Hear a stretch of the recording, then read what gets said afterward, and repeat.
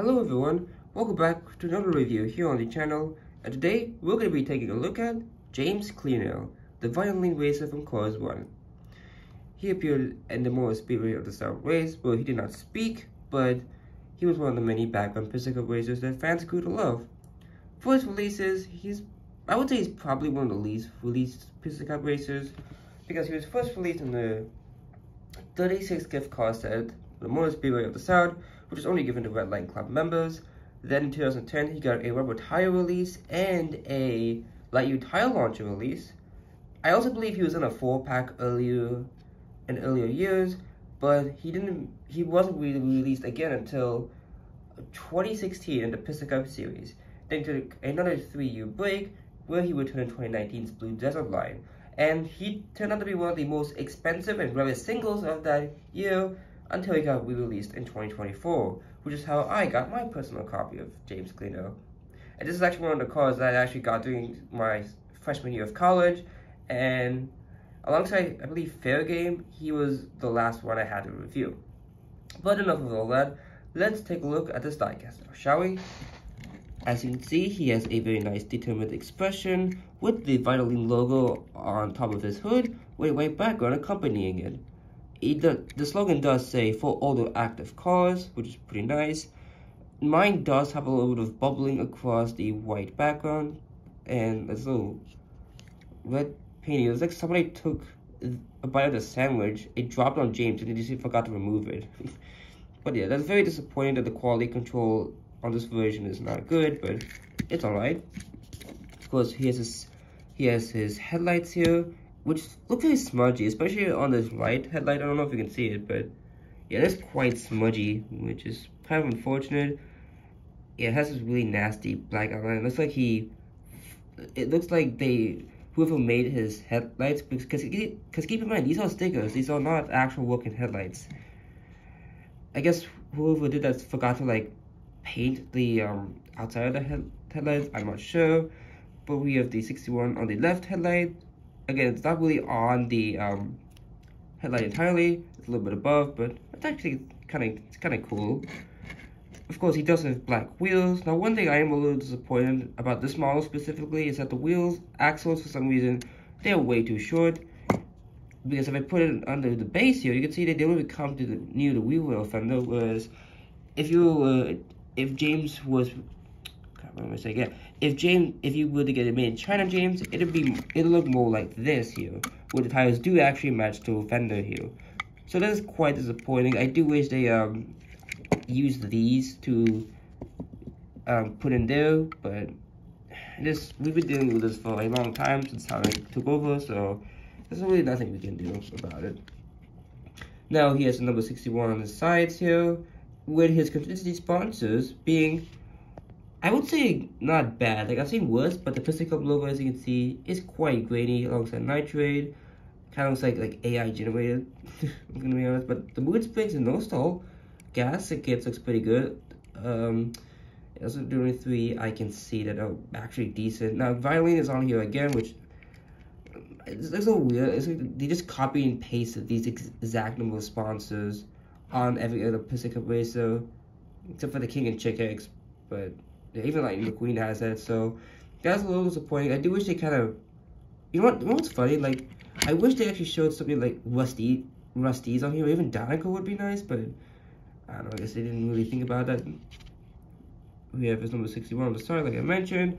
And now James is a two-tone car, clearly, because he has white on the hood and his back, but green in the middle, which is pretty nice. We see this black outline near his window here. The number 61 on his hood, looking very smudgy as always. The window bars, which are painted green, and this Vitoline logo, which looks god-awful. looks like it's being Thanos snapped away, especially the V here. I don't like that, but it's fine, I guess. Have this white spoiler on the back. Now, this is a much better Vitoline logo. But, yeah, you can see the green stripe here, which is pretty cool. And 61 on his left tail light, which is pretty nice this side is pretty much the same. I, oh yeah, he actually does have the that same logo is on the hood on either side. Because this side has the gas cap, whereas this one, this side does not. Here is the base. It does say S47A, so he's made in the 47th week of 2020. I think this might be 2023 at the A factory, which would make sense because he was released in 2024 singles case C, I believe. And yeah, about that's it for James here. A very good pickup racer. I do like his, his expression from Thailand, Thailand a lot more, but I wish the wheels were matched to the fender. I do wish some of those decals were better. But I'm pretty sure this is just my copy. I'm, ho I'm hoping this is not like this on everyone's copy, but if it was, then that would suck majorly. Of course, let's zoom out a little bit and do some comparison. Now, the only other Thailand Pacific racer of this model that I have is my Clutchburn, who I reviewed in the um, the accessory 2 bag with him and Sage. So if you want to see it, link will be in the description below. Pretty cool, pretty cool. They both have black wheels. Both have like really poor decals. Although I will say though, James decals might actually look better than Murray's. Yeah, look at that. Like, compare that mood springs leather to that. Vitoline looks, eh, they look equally better. Like, mood springs and, mood springs and no star, they look really good. I'd say even the piston cup, they can actually read piston cup here on James, whereas on Murray you couldn't at all.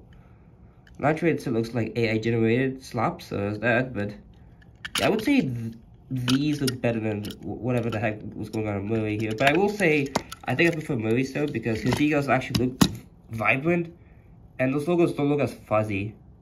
Zoom out a little bit here. Especially, um, uh, I guess this one looks a little fuzzy, but not as bad as this. You catch a cold in my draft. Beautiful. I love these logos on these cars and racers sad that a lot of, the, a lot of them got rid of those logos from Cars 3, although some of them did keep it. Like, I think um, Vitoline was an example of when I kept its slogan around.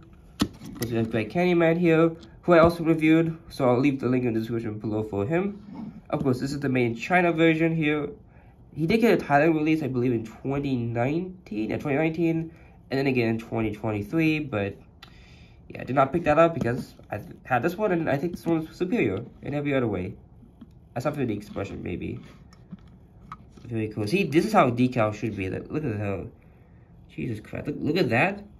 And look at that. Oh my god. We've, we've really degraded with decals. Look at that. Clean, clean decal. The high waving midfield moto. Yeah, because it was one of my first 2018 releases I got. And I got them with the collector as well. So, it's pretty cool here. Pretty, pretty cool. Of course, Vitoline did continue on the Cars 3, but James Cleanair was replaced by Blake Yardley, who spoke in the movie alongside the next gen, Chase Racelott. Yeah, I, I don't know if Blake at all. I really should get him because he actually spoke, but Chase Racelott is not a good one because he was actually voiced by real-life NASCAR driver Chase Elliott. It's pretty cool. We're from black to green. 61 to 24 because that was Elliott's number in real life during the time of Cars 3.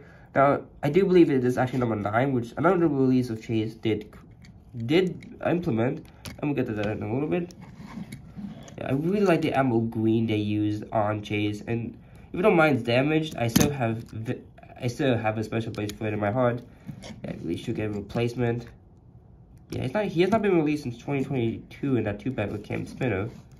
So yeah, hopefully he gets another re-release soon because I do like him a lot course, the Vitoline logo is slanted now instead of um, straight. They did keep the for all the active cores on the gen though, so that's actually cool. Glad they kept it. Of course, he did get a release in the NASCAR line because of that connection to Chase Elliott. Unfortunately, very grainy too, but for a different reason, because it's a Vietnam release. Yay, Vietnam. they have worst decals in Thailand. Like, I swear, Thailand and Vietnam are just competing to see who has the worst decals at this point. Uh, hey, look at that. These are fuzzy. Just like James. So, I guess James must have been made in Vietnam, and then they were like, oh, shoot, this is a Thailand release. Uh, like, let's slip by. No one's gonna notice. yeah, pretty cool. We have these silver wheels here. The sponsors are clear. But you can see, you clearly, obviously see the grain in here, which I don't like, but see the lighting in the window, number nine. So overall, a lot more NASCAR ties in this mine here, which I loved even though I'm not a big NASCAR guy, but I've got a spoiler. Actually, looks worse than that. Oh my god! Wow. Times like this, with Thailand, Thailand starting to match the quality of Vietnam. Even though I'd say Thailand is better than than Vietnam by a long shot, but it's whatever. I've also reviewed this NASCAR variant, so link it in the description below if you want to check it out. And yeah, that about does it for the comparisons of James Cleanair. Thank you all so much for watching. Remember to leave a like, comment, and subscribe for more upcoming content. See you all next time. Until then, this is Joe Quicktire signing out.